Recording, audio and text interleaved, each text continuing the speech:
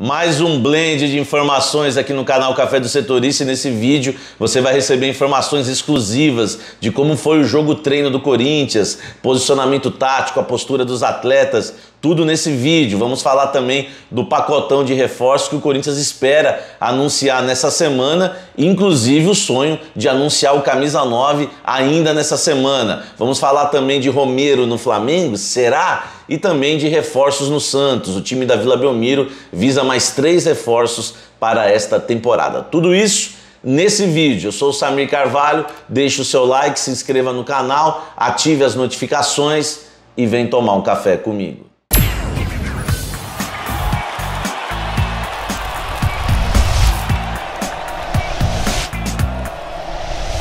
Antes de falarmos das notícias do mercado da bola, eu quero dizer que esse vídeo tem um apoio do jornal Diário do Litoral, o nosso querido DL. Você pode assistir esse vídeo aqui e tantos outros no diariodolitoral.com.br, um dos sites mais acessados da Baixada Santista e os números comprovam. Esse vídeo também tem o apoio do Rei do Café, onde você encontra um dos melhores cafés do Brasil, porque o Rei do Café só trabalha com café de alta qualidade, 100% arábica, gourmet, café especial. Eu inclusive estou tomando o meu nesse momento aqui. Peça o seu pelo site reidocafé.com.br.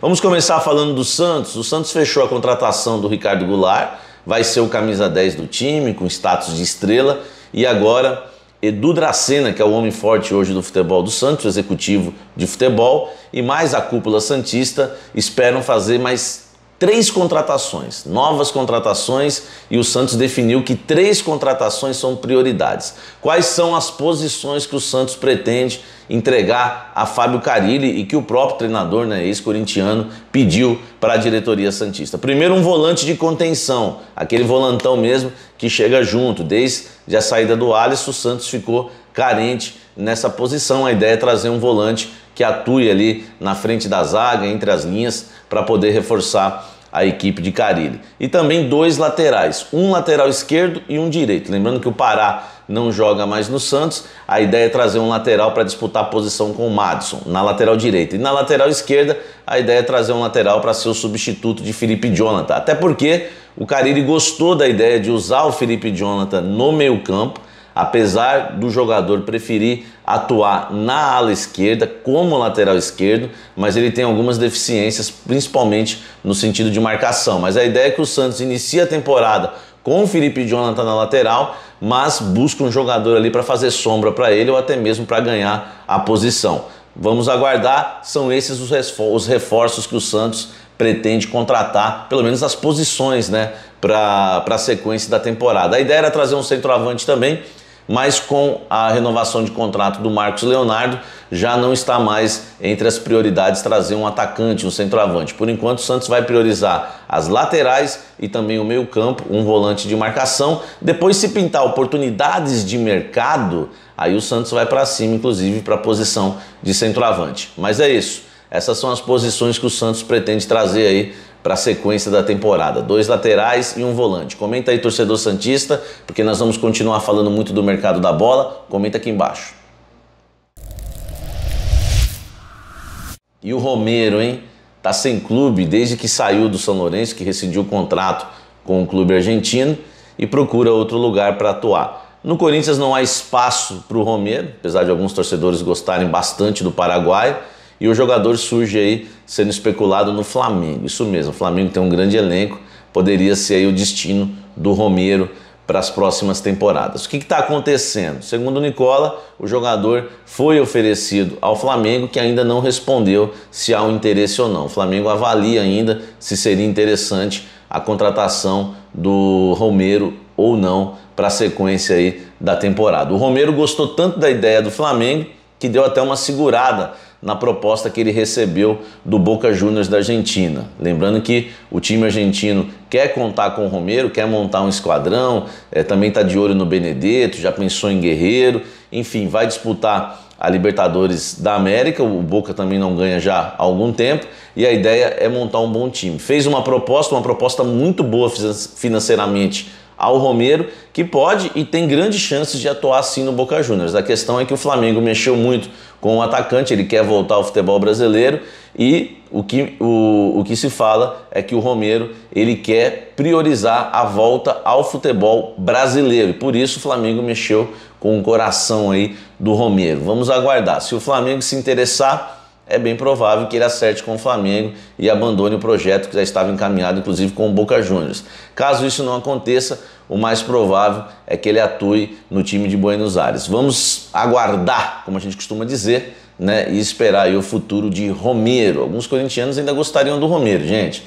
Não tem lugar no time do Corinthians, né? O Corinthians montou aí é, uma seleção, vários jogadores e não há espaço hoje para o Romero, pelo menos na minha opinião. Mas o Flamengo não sabe ainda, não respondeu. E o Romero quer jogar assim no Flamengo. Vamos aguardar o final dessa novela aí. Comenta aqui embaixo você, torcedor, o que, que você acha de Romero no Flamengo, no Romero no Boca.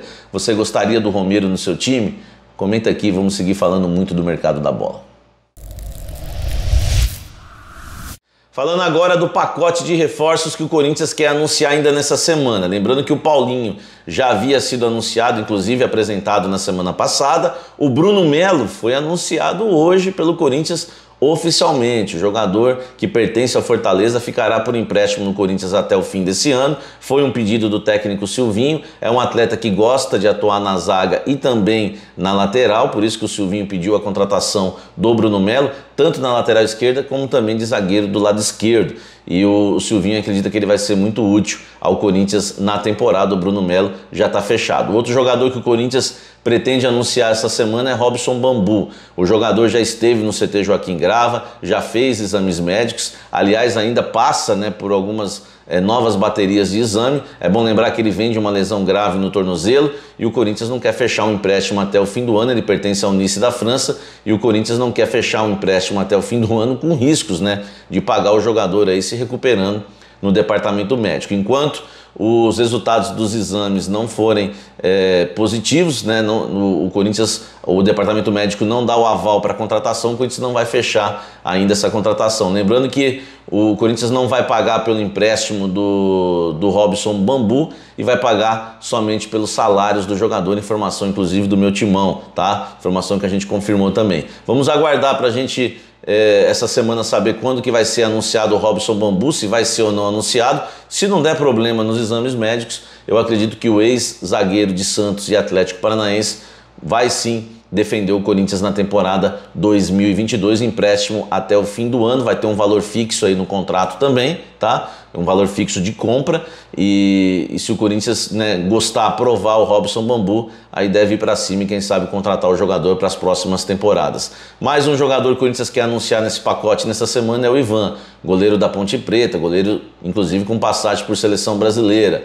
É um atleta que chega aí como uma espécie de sombra para o Cássio. Corinthians está comprando 50% dos direitos econômicos do Ivan.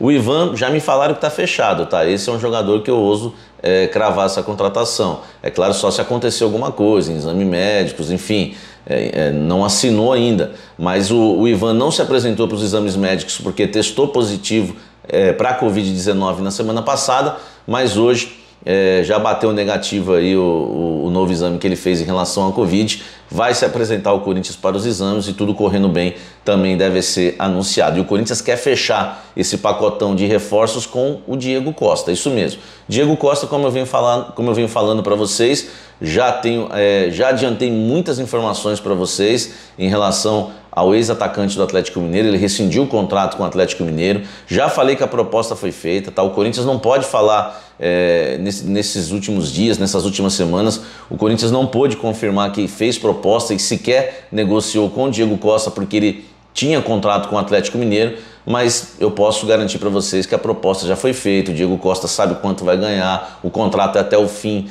da próxima temporada e a ideia é um salário aí de pouco mais de um milhão, um milhão e cem, é quase mais ou menos o que ele ganhava no Atlético Mineiro. O patrocinador do Corinthians já trouxe também com exclusividade, vai pagar metade. Recebi até informação que pode, pode ser até um pouco mais que a metade, mas a ideia é, é, que, é de que o patrocinador não pague 100% dos salários do Diego Costa. Eles tinham esse interesse de 100% no Cavani, mas acabou não dando certo aquela proposta de 3 milhões de euros. Não deu certo também 3 milhões de euros por temporada, tá, gente? 20 milhões por temporada, é, 1 milhão e 700 mil é, por mês. Não deu certo porque o Manchester não liberou, o Corinthians é, seguiu acompanhando, monitorando o caso do Cavani e trabalhando, né? É, também no caso Diego Costa, paralelamente. O Corinthians fez a proposta e aguarda uma resposta dos jogadores. Se tem uma coisa que eu falei para vocês aqui há um bom tempo, mas eu vou repetir, tá? Há um bom tempo eu já falei, a diretoria do Corinthians não confia no Diego Costa e, e é, para garantir essa contratação e falar que está tudo certo. Por isso que o Corinthians nem se expôs publicamente dizendo que negociou com o Diego Costa. Eles acreditam que o jogador ainda visa a Europa e se pintar alguma oferta melhor, ele vai dar para trás de última hora e vai acertar com qualquer outra equipe. Nunca cravei Diego Costa aqui e nem sou louco porque nem a diretoria é, corintiana tem essa confiança. Eles acham realmente é, o, o, Diego Costa um, um, um jogador que tudo pode acontecer pode acertar, pode falar não. Então não há essa confiança. Já trouxe para vocês essa informação, mas na audiência rotativa aqui do canal vale a pena trazer isso de novo para vocês irem com calma com tudo que vai sair, vai pipocar. Diego Costa pode jogar no Corinthians? Claro que pode. Já teve proposta.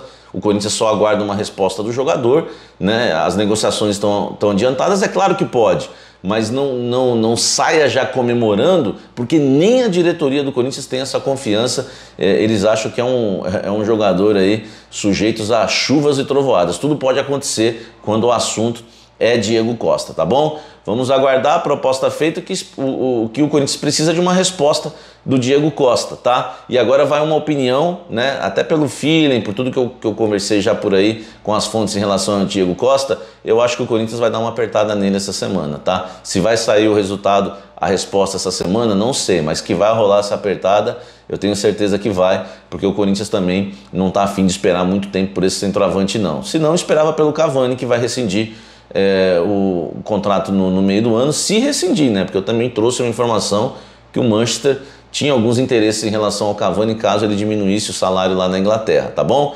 Vamos aguardar para a gente ver o fim dessa novela do pacotão de reforços do Corinthians para essa semana e quem sabe, né, se enfim pode sair esse camisa 9 nesse pacote. Comenta aqui embaixo o que, que você acha de tudo isso. Encerrando esse vídeo agora com informações exclusivas do jogo treino de Corinthians 1, Inter de Limeira 0. Primeiro vamos às informações que todos sabem. O placar 1 a 0 que foi é, conquistado no segundo tempo com o time reserva e com o gol do Duqueiroz. No primeiro tempo, o time titular, que entrou em campo com Cássio, Fagner, João Vitor, Gil e Lucas Piton. No meio campo, Gabriel, né, entre as linhas, aberto na direita Gabriel Pereira, aberto na esquerda Roger Guedes, por dentro Paulinho Juliano e lá na frente o Mantuan. Esse time empatou por 0 a 0 no primeiro tempo, teve uma forte chuva que atrapalhou um pouco e vamos às notícias boas. Primeiro, pra, primeiro a notícia boa, né, que é importante também, tem notícia boa.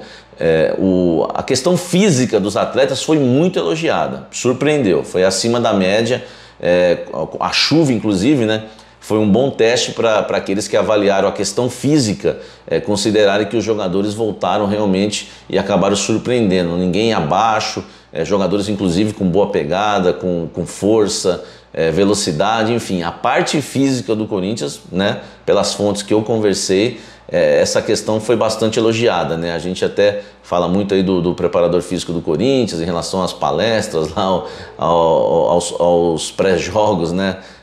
Na TV Corinthians, no vestiário, aquela coisa, vamos lá, aquela coisa. Mas enfim, o que é certo é certo, a informação que eu recebi é essa, de que a parte física do Corinthians foi bastante elogiável, os jogadores acabaram até surpreendendo. O problema foi a questão tática. É, o, o Corinthians teve duas variações, me passaram. O Corinthians treinou no 4-1-4-1, que não é novidade para ninguém, e também treinou no 4-3-3. Teve uma variação. Então vamos lá. O 4-1-4-1, a linha de 4, o Gabriel entre as linhas, Gabriel Pereira e Roger Guedes abertos, como eu já disse, e Paulinho Juliano por dentro. Ah, o 4-3-3 é uma, é uma variação muito comum quando o time vai para o ataque. O Gabriel Pereira espetou lá na frente com o Mantuan, junto com o Roger Guedes ficou, ficaram aqui três jogadores na frente e uma segunda linha se formou atrás, com o Gabriel no meio, o Paulinho pela direita e o Juliano pela esquerda. E assim o Corinthians é, atacou no 4-3-3. Interessante, uma variação, tá? uma variação. Já aconteceu no ano passado? Já aconteceu. Aconteceu bastante? Não. O Corinthians tinha mais uma variação no 4-4-2 com duas linhas de quatro, quando subia um por dentro para fechar no zagueiro junto com o atacante, e o Corinthians fazia essa variação no 4-4-2. E agora essa variação no 4-3-3, mas o que me falaram é o seguinte, Samir, nada de novo, nada de novo taticamente, até porque a variação do 4-1-4-1 para 4-3-3 é muito comum, gente. É só esses dois jogadores aqui espetarem e pronto. É, é, pra, e o, o, Gabriel sobe, né, encaixa na, na segunda linha e está resolvido o 4-3-3. Isso é muito comum. Quem joga no 4-1-4-1 sempre vai ter a variação do 4-3-3. Então não dá nem para comemorar, oh, temos um 4-3-3. Não é isso. É uma variação bastante comum quando o time está com a bola e está atacando. Isso é normal, repito. Agora, o que me passaram foi, não teve nada de tático novo, não teve nenhuma formação nova e, e me ressaltaram que voltou novamente a depender do individual. O, o, individual sobressaindo mais uma vez, jogadas do Paulinho, chegando na área, o Paulinho inclusive fez um gol é, que foi anulado pela, pela arbitragem.